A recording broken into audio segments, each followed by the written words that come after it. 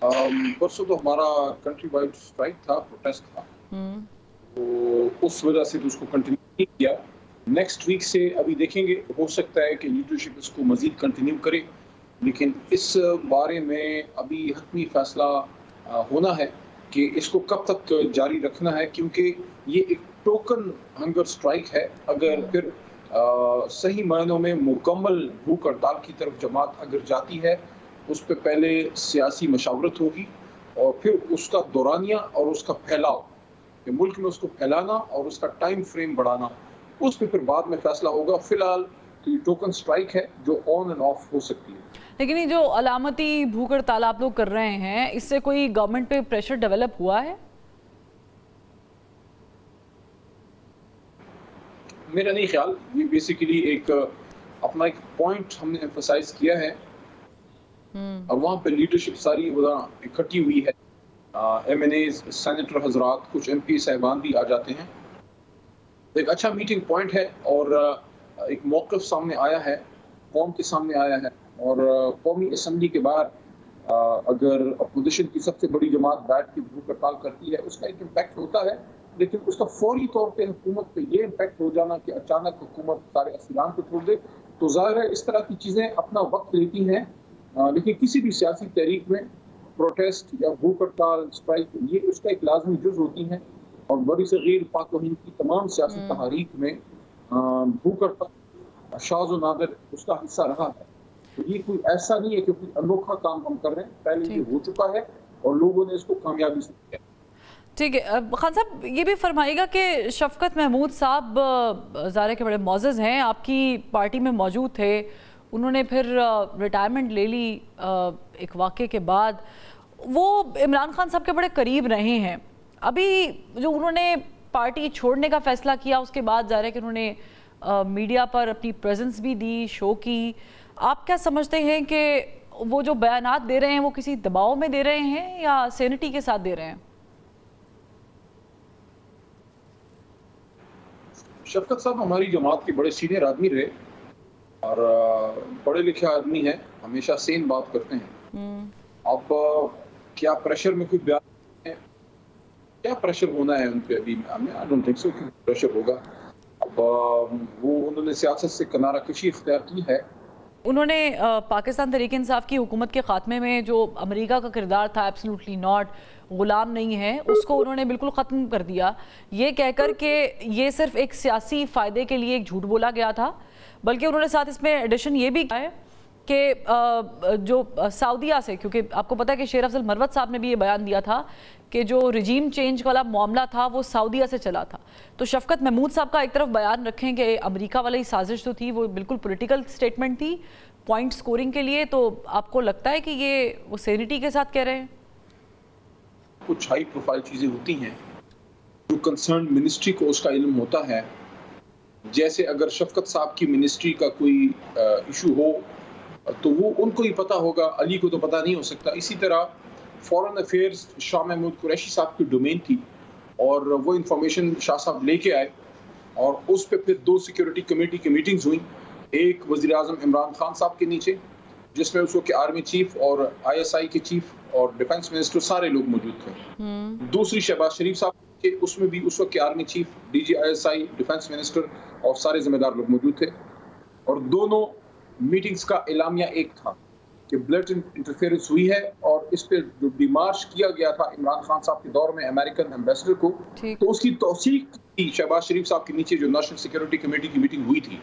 ہم یہ تو کہہ سکتے ہیں فرض کر سکتے ہیں for the sake of argument کہ عمران خان کو خدا نخواستہ مینیپولیٹ کیا گیا ہوگا لیکن شہباز شریف صاحب کے نیچے وہ وزیر اعظم تھے تو انہوں نے پھر ان چیزوں کی توثیق کیوں کی؟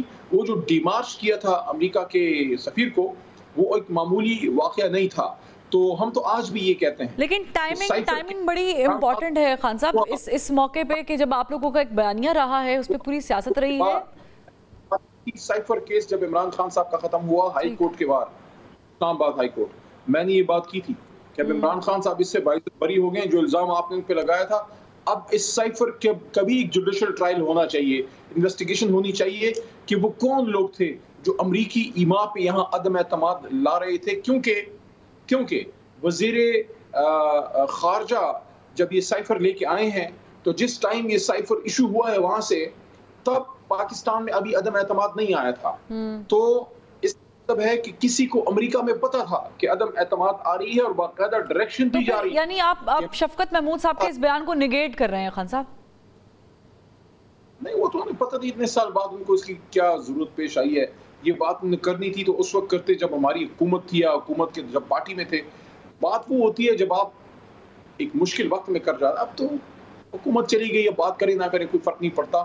لیکن یہ ایک حقیقت ہے۔ کہ پاکستان میں رجیم چینج ہوئی اور یہ رجیم چینج امریکہ کی ایما پہ ہوئی اور اس کی وجہ صرف اور صرف یہ تھی کہ عمران خان صاحب وہ چیزیں نہیں مان رہے تھے جو ماضی میں حکومتوں کو عادت تھی اس طرح ہاتھ باندھ کے سر جھکا کہ جو امریکہ بہادر کہے وہ اس کو مان خان نے کہا کہ میں نہیں مانوں گا میں وہ فیصلہ کروں گا جو پاکستان کے مفاد میں ہوگا۔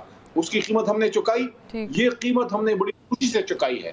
اور اس طرح کی قیمتیں پھر بھی چکائیں گے پاکستان کی سلامتی اور سبرنٹی کے لیے۔ جو لوگ ابھی باتیں کر رہے ہیں جب وقت تھا اس وقت ہی باتیں کرتے ٹھیک ہے۔ اچھا خان صاحب یہ جو مطالبہ عمران خان صاحب کی طرف سے آ رہا ہے کہ ادارے نیوٹرل ہو جائیں پھر علی امین گنڈا پور نے بھی یہی کہا علیمہ خان صاحبہ نے بھی یہی ڈیمانڈ کی۔ آپ سمجھتے ہیں کہ ادارے نیوٹرل نہیں ہیں اس پوزیشن پہ ابھی؟ بالکل نیوٹرل نہیں ہے ساری چیزیں جو ہمارے ساتھ ہو رہی ہیں سب کو پتا ہے کیا ہو رہا ہے۔ نہیں آپ کے ساتھ جو ہو رہا ہے خان صاحب وہ گورنمنٹ کرا رہی ہے کہ ادارہ کرا رہا ہے۔ دو ڈیفرنٹ چیزیں ہیں۔ دیکھیں، بہت سی چیزیں ایسی ہیں جو حکومت وقت کے اختیار میں نہیں ہوتی۔ مثال کے طور پہ، جب یہ حکومت ابھی نہیں آئی تھی اور انٹرم سیٹ اپ کے دوران، اور جب الیکشن ہو رہا تھا، جو ہم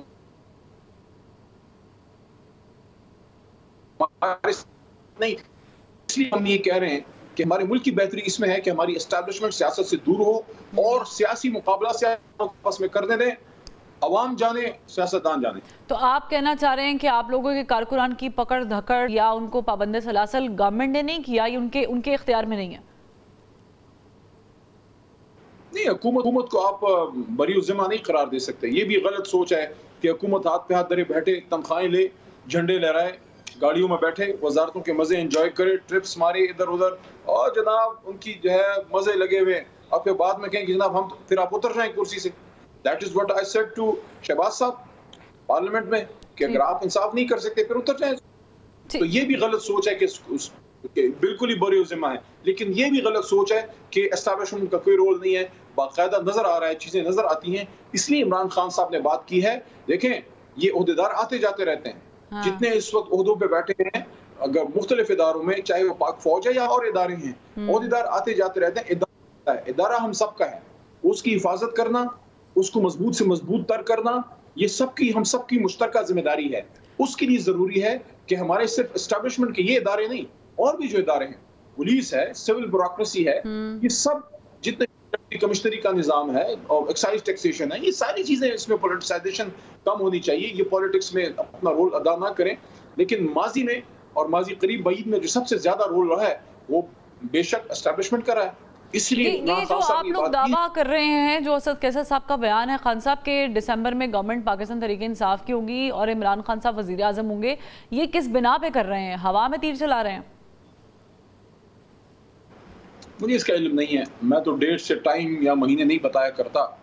نہ میری سیاست کا یہ رنگ ہے میں تو ہمیشہ ایک امید پہ بات کی جا سکتی ہے۔